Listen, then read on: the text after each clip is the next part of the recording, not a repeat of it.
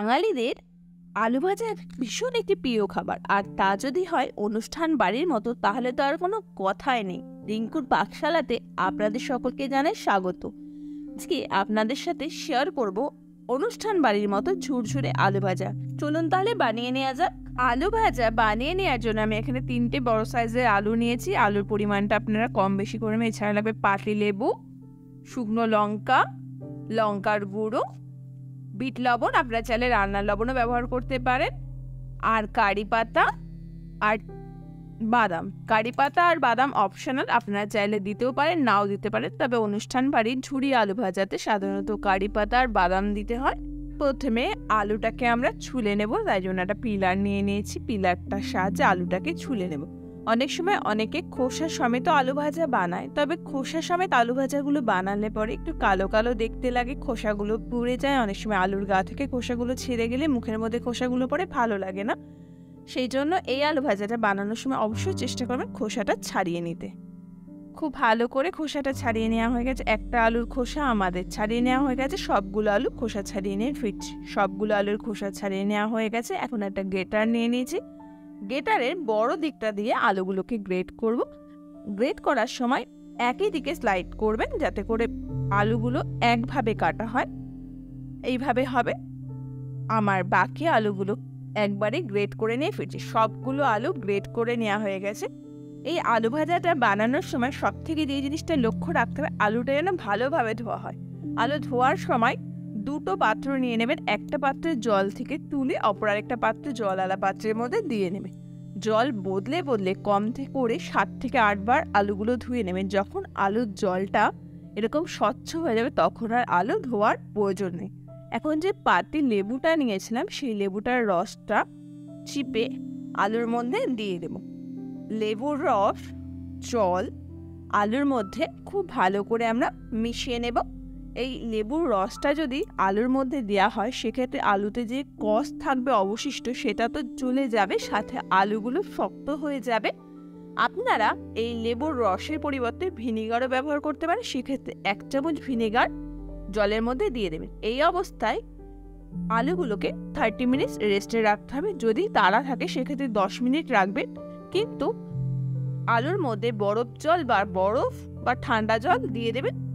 দেখুন আলুগুলো thirty minute পর ফিরে এলাম। আলুগুলো দেখুন কেমন শক্ত হয়ে গেছে আর একটুও কালচে ভাব নিয়ে আলুগুলো পুরো স্বচ্ছ হয়ে গেছে। হাতের সাহায্যে চিপে চিপে আলুর মধ্যে থাকা জলগুলোকে আমরা বার করে আলুগুলোকে অন্য একটা পাত্রের মধ্যে নিয়ে নেব। একই প্রসেসে সবগুলো আলুর মধ্যে থাকা জল আমরা চিপে ঝরিয়ে নেব। সবগুলো আলুর জল ঝরিয়ে নেওয়া হয়ে গেছে। এখন দেখুন আলুগুলো চিপলে হাতের জল লেগে যাচ্ছে। সেই কারণের জন্য যাতে জল না থাকে একটা সুতির কাপড়ের ওপরে আলুগুলোকে আমরা ছড়িয়ে নেব। নিয়ে একটা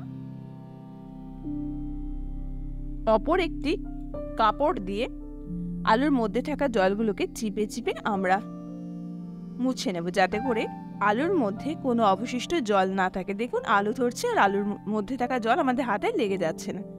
এখন এই আলুগুলোর মধ্যে আর কোনো রকম জল নেই এখন একটা পাত্রে নিয়ে আলুগুলোকে তুলে নেব। একই প্রসেসে সব আলুগুলোর মধ্যে থাকা জলটাকে আমরা মুছে নেব।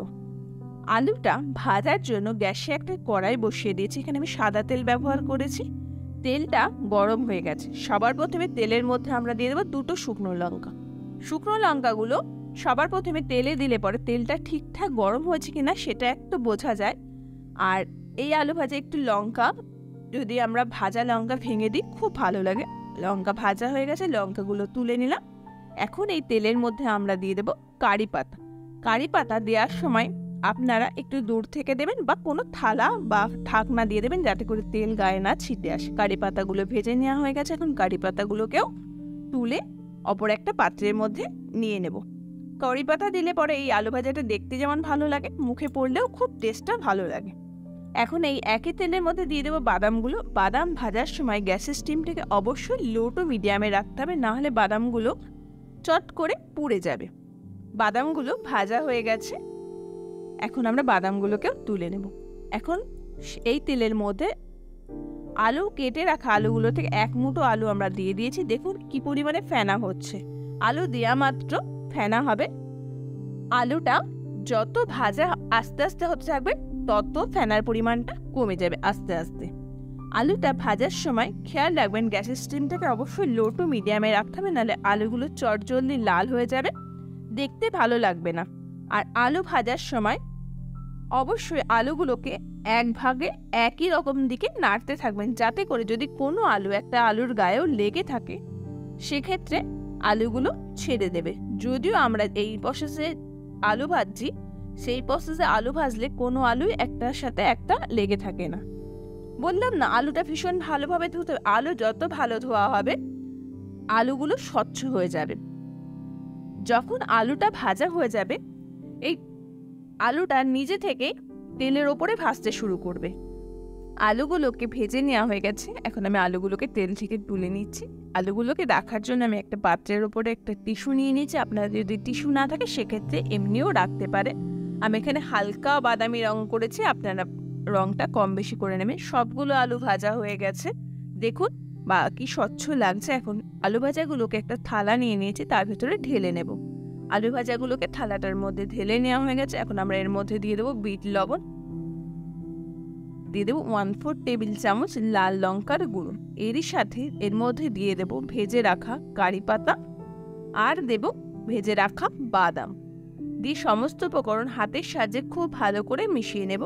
সমস্ত উপকরণ হাতের সাহায্যে খুব ভালো করে মিশিয়ে নেওয়া হয়ে গেছে। এখন একটা সার্ভিং প্লেট নিয়ে নিয়েছি। তার ভেতরে ভেজে রাখা আলু ভাজাগুলোকে সার্ভ করে দিয়েছি। দিয়ে ওপর থেকে ভাজা শুকনো লঙ্কা, ভাজা বাদাম আর কারি পাতা দিয়ে গার্নিশ করে নিয়েছি। এইভাবেই তৈরি হয়ে গেল অনুষ্ঠান বাড়ির মতো ঝুরঝুরে আলু ভাজা। আমার আজকের এই রেসিপিটি আপনাদের কেমন লাগল অবশ্যই কমেন্ট করে জানাবেন। আরও নতুন নতুন রেসিপি পেতে আমার চ্যানেলটিকে সাবস্ক্রাইব করে আমার পাশে থাকবেন। সম্পূর্ণ ভিডিওটি দেখার জন্য আপনাদের সকলকে জানাই অনেক অনেক ধন্যবাদ।